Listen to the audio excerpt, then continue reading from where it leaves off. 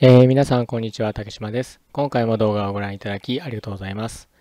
えー今回もですね、えー音声のみで、えまたあの、えラジオみたいに聞き流していただけたらなと思います。で、今回の、えこの動画の内容は本の紹介をしたいと思います。えっ、とですね、今回紹介する本は、雪法っていう本です。雪法1と2が出てます。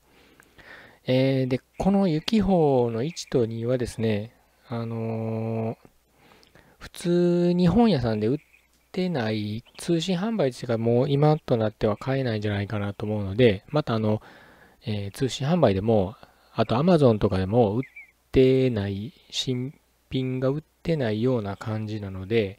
え全盛社という会社ですね。あの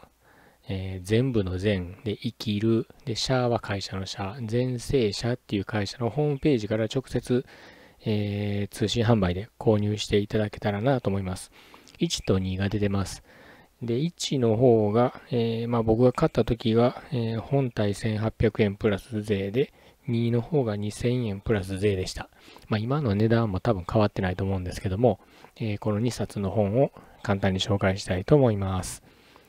えっとですね、この、まあ、題名から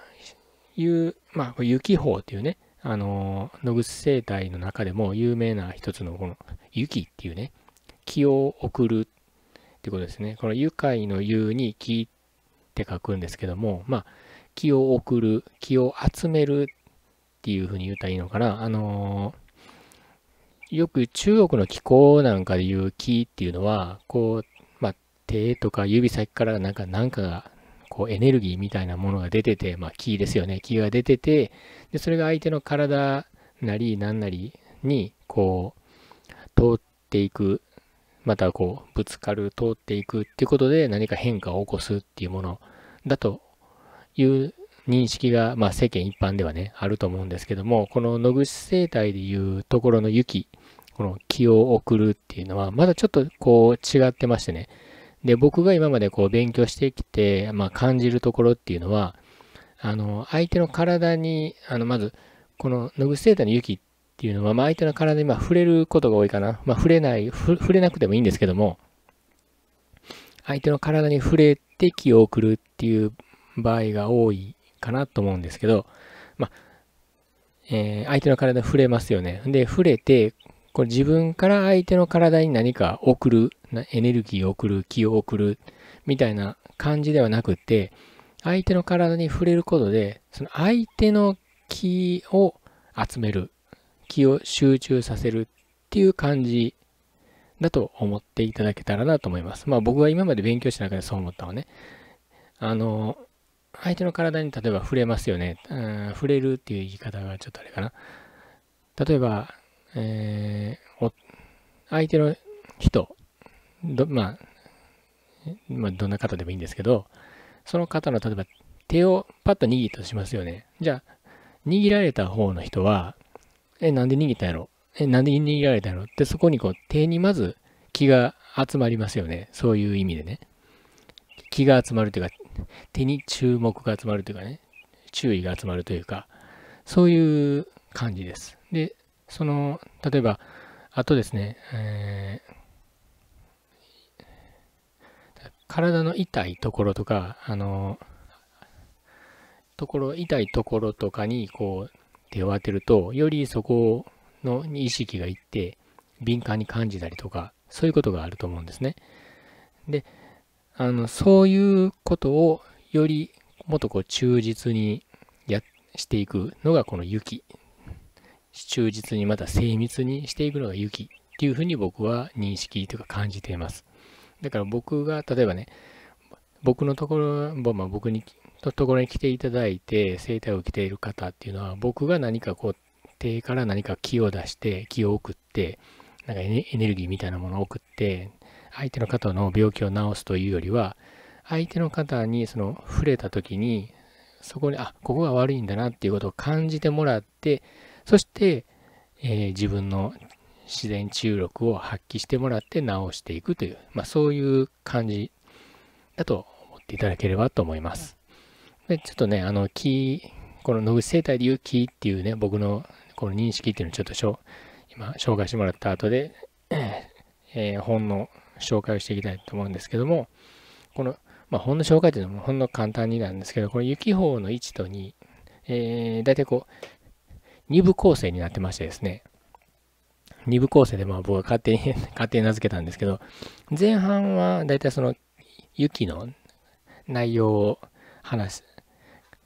前半は雪の内容ですね。で雪ってどういうもんかっていうことが書いてあります。で、僕がこの雪法1におすすめする理由の一つがですね、後半はあの質問に答えるっていう項目がありましてね、えー、この多分当時講義とかに参加された方、多分えー、野口先生の会員の方ですよね。野口先生の会員の方がいろんなこう質問されるんですね。それ結構こう、こういう病気にはどうしたらいいんですか？こういう症状にはどうしたらいいんですか？っていうような質問をたくさんされてましてですね。で、それに答える形で野口先生はこうこうこうしなさい、ああしなさいっていうふうに、え、書かれてるのが、この両方のね、雪法1、2の本の後半、えー、1、2の後ろ半分ぐらい、ずっとそういうページになってます。なので、えー、そこはね、非常にこう分かりやすくて読みやすいかなと思います。雪法そのものはね、あのー、わからん、初めての人にとってちょっと分かりにくいかなと思うんですけども、後半は結構具体的なこう症状とか病名なんかが出てきて、えー、それに対して野口先生が答えられているという、そういうページになってるので、えー、まあ、面白いんじゃないかな。面白いで、面白いって言い方おかしいな。あの、初めての人でもこう分かりやすいし、まあいい、えー、わかりやすいページではないかなと思います。なのでね、あの、まあぜひ読んでいっていきたいと思いますけども、うーん、そうですね。今ちょっとまあ本を見ながら、ペラペラペラと本を見ながら、どっかまあ簡単に紹介できるような質問内容とかあればいいかなと思うんですけども、え、確かね、どっかね、あの、高血圧の話を書いてたようなところがあったんですけど、ちょっとね、あの、事前に調べとけばよかったんですけど、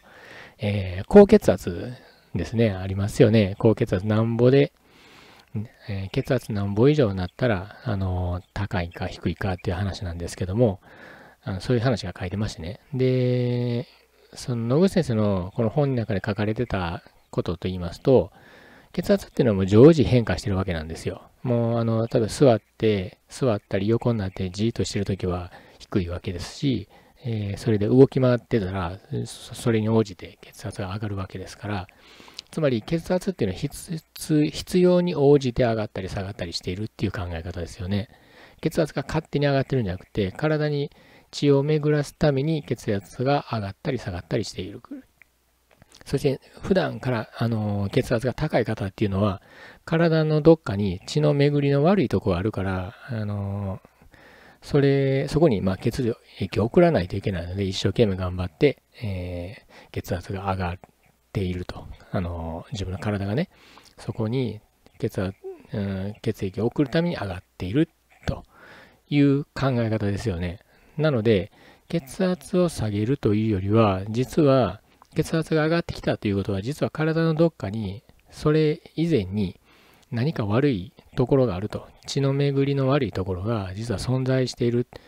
ていうのを見つける方が先ではないかというようなことが書いてありました。ちょっとね、あの実際の本の文章とかを、まあ、引用してすればいいんかもしれない。ちょっと今ね、手元に本あるんですけども、えー、すぐにそのページが見つからなかったんで、まあそういうことですよね。そういう分かりやすいものが、えー、あったと思います。まあ、そんな感じでね、ちょっとこう、今までの僕たちが、あの、世間一般で聞くところの、あの、西洋医学とは違う考え方、違うところがあるんでね、まあ、あの、こういう考え方もぜひ参考にしていただいて、皆さんの健康に役立てていただけたらなと思います。ということでですね、今日は、えー、本の紹介、雪法1、2っていうのをやってみました。で、まあ最初にも言いましたけども、Amazon でも売ってなくって、えー、まあ売ってることは売ってるんですけど、辺の中古やったりするんで、まあ新品がちゃんとね、あの、購入できるんで、全盛社っていう会社でね、あの、全部の全、えー、生きる、え会社の社、全盛社っていう会社を検索していただいて、そこから、あの通信販売で買えますので、え購入して読んでいただければと思います。では、今回もご清聴いただきありがとうございました。